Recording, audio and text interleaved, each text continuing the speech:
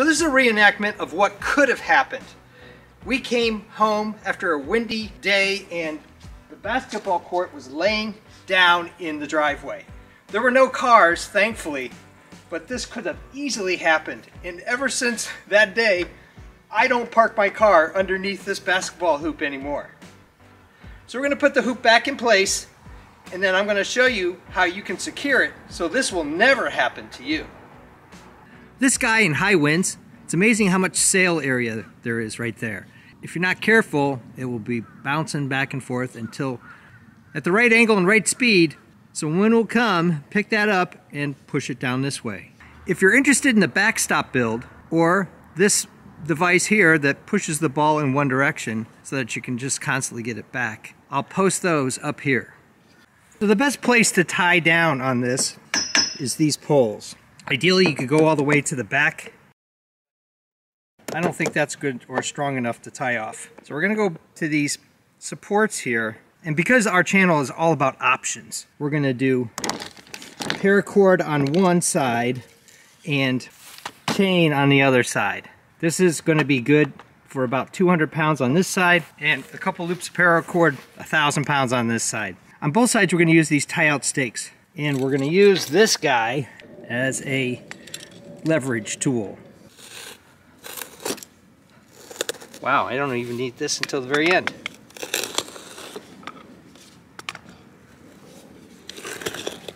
You can see, this really helps.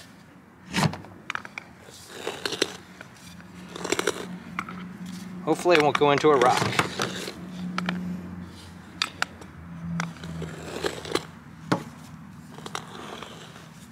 Sure feels that way.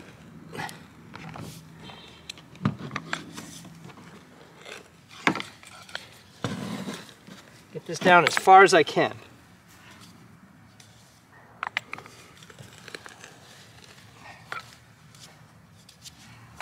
That's pretty good.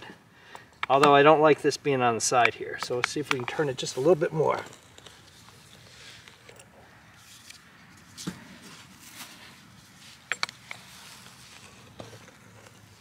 There we go. That rock must have given way. All right, right there. Liking that. Now all I have to do is do the same thing to the other side. I've got about four to five feet worth of paracord and I've been giving this a little thought. I actually think I'm going to run it through this little loop around here and then just do a bunch of loops like this and then tie it off. I'm going to use a little piece of 5 8 inch outer diameter, half inch inner diameter. It could be a thinner tube if you want, but this is just clear vinyl I happen to have on hand. I'll post below all the materials I used so that you have a list to go on. And I'll just run them all through here. And that way there won't be any rubbing. This will wedge in there real nice. Then just keep lacing it through the loop and the top. And then I'm doing what I call a double square knot. That's two loops around and then two loops around. One, two, and then just cinch it down. And Then push it together. I'm sure there's an official name for that, but that I think a better than a square knot because it's not going to slip on paracord that's a little slick. It's going to cut that off and finish it. Some sharp scissors, melt it down. Now this is supposed to be mildew proof, waterproof, the whole nine yards. So I'll see how this guy does against the chain side. I'm using a combination of this chain, which is 90 pounds, it just happened to be what I have on hand, and one of these quick links, which is good for 220 pounds. I've got three separate links of chain, around 270 pounds there, and 220 on this. I could double up the links if I wanted to. I could add more chain if I wanted to.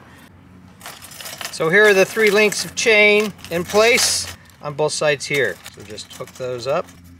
And you could use different size chain, a little thicker if you wanted to, and the quick link, totally up to you.